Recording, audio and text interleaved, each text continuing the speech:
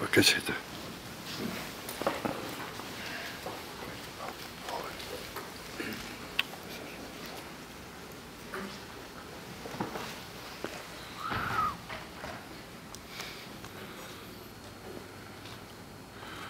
According to the tradition of this university, I open this ceremony with a short prayer. Spiritu Sancti Gratia Munacensum et Corda Nostra. Please take your seats.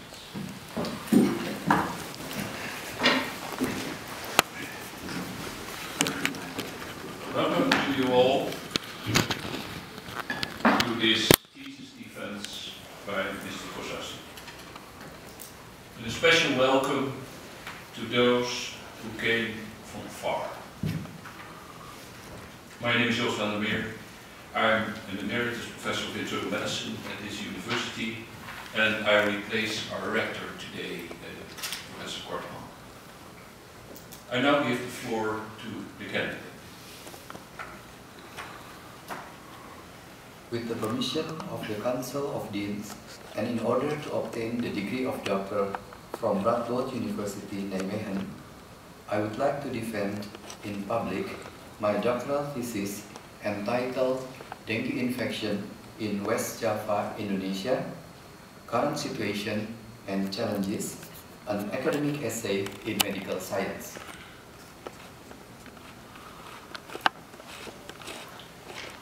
Dengue virus is an RNA virus. An infection with dengue virus may be asymptomatic or symptomatic. The mild syndrome is dengue fever, and the more severe syndrome is dengue hemorrhagic fever and dengue shock syndrome. Soon after the first DHF epidemic in the Philippines, dengue has emerged as one of the most important infectious diseases. The left graph shows the increasing number of cases and also the increasing number of endemic countries. And the situation is in, in Indonesia is shown on the right graph. The number of cases is represented by the blue bar and the percentage of the district and uh, uh, also the provinces uh, represented by the green and the brown bar. In the last five decades, studies have been conducted extensively. However, controversies and gaps remain.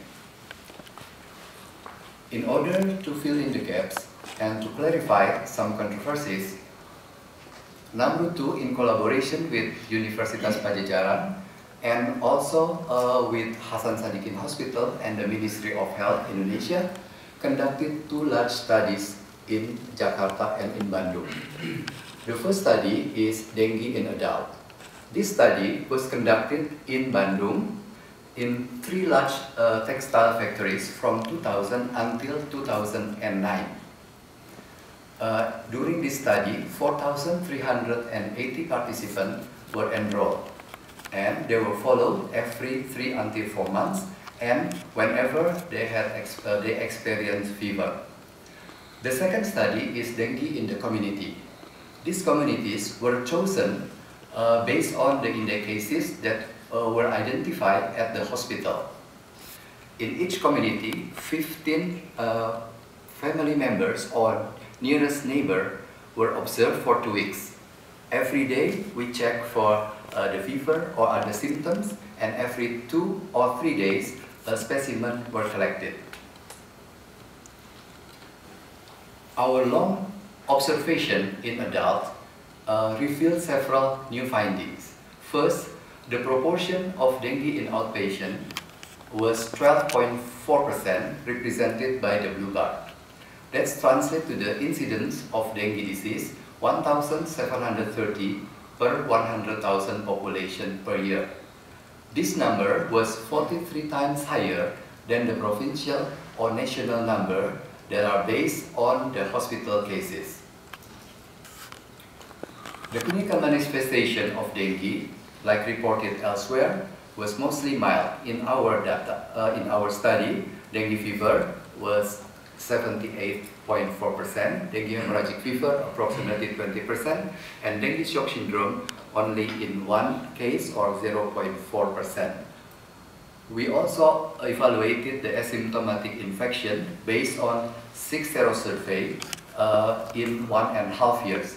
And we found that the asymptomatic infection was 2.6 times higher than the symptomatic infection. Our data, if I extrapolate to the population in Indonesia now, for the symptomatic and asymptomatic are 4.3 million and 11.2 million. And this is quite close to the new disease, dengue disease burden as proposed by Bhatt uh, that the prediction in Indonesia are 7.5 for symptomatic cases and 23 million uh, asymptomatic dengue infection. Our long observation and also based on the Jakarta outbreak show that dengue is hyperendemic in West Java.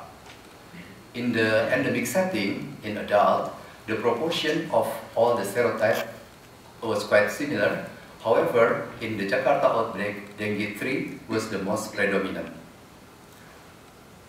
The proportion of DHF in dengue 3 infected patient show higher than other serotype.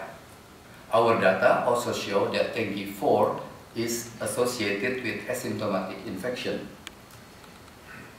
This slide shows the dengue observation in the community. We conducted uh, this study in West Jakarta. Uh, the communities are 53 and total foreigners observed 785. The convalescent cases were 164 and the enrollment and post-enrollment were 28. In three, three communities, we found two serotypes were circulating together.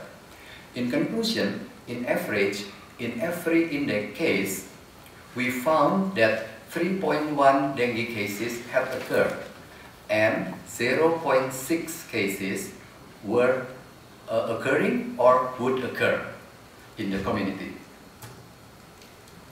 One of the challenges in dengue diagnostic is an accurate, rapid, and cheap test. And uh, for this reason, we conduct a sub-study to evaluate the performance of NS1 assay. NS1 is non-structural 1 protein of dengue virus.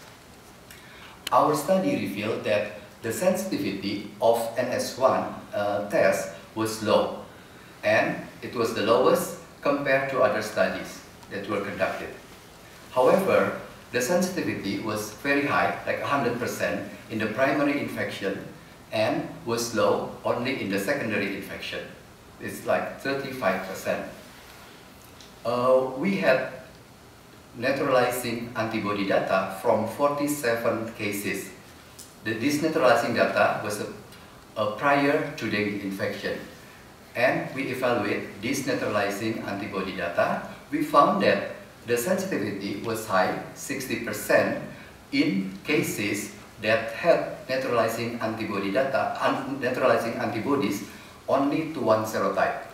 And the sensitivity was low uh, in cases uh, with neutralizing antibody to two serotype or more.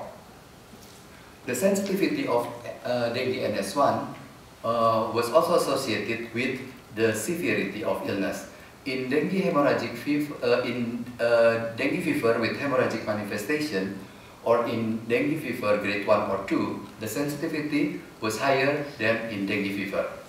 Also, uh, in cases with platelet less than 100,000, the sensitivity was higher than in platelet uh, more than 100,000.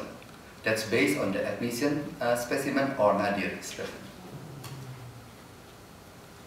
The other uh, challenge is the differential diagnosis. Since dengue is undifferentiated, uh, undifferentiated febrile illness, uh, uh so uh, one of the most important findings in our study is chikungunya was one was the most important differential diagnosis. As we found that the proportion of chikungunya among outpatients was 7.1%, That's translated to the incidence rate of 1,000 per 100,000 population per year. All these cases were mild, and in 3%, uh, we found possible repeating infection. It is against the dogma that chikungunya infection provide long life immunity. The last finding, important finding, is um, the IgM was persistent and in several patients uh, it was detected until one and a half year. In conclusion, the burden of dengue and chikungunya in Indonesia is bigger than officially reported. The second, NS1 assay has limited value as point of care test in endemic, uh, in endemic setting. And since we identified uh, as well one hantavirus and one West Nile virus, but we cannot use it to estimate the disease burden, we propose to uh, have a surveillance for hantavirus and West Nile virus. We also propose community involvement uh, as an effective way to early detect and control dengue. Having presented the summary of my doctoral thesis, I return the floor to the rector. Thank you very much. Mr. Yeah. Bassi.